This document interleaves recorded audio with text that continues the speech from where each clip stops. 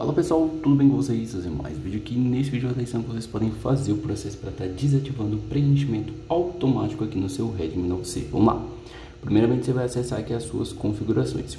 Acessou as configurações do seu Redmi Note C, você vai descer e procurar pela opção aqui de privacidade. Achando aqui essa opção de privacidade, pessoal, você vai clicar uma vez nela. Clicando aqui nessa opção de privacidade, você vai vir na opção de é, preenchimento automático do Google e vai estar tá clicando uma vez nessa opção. Clicando uma vez nessa opção, vocês podem estar tá vendo aqui, ó. No meu caso já estava desativado, ó, usar preenchimento automático do Google, você vai vir aqui, vocês vão ver que eu ativei, tá azul.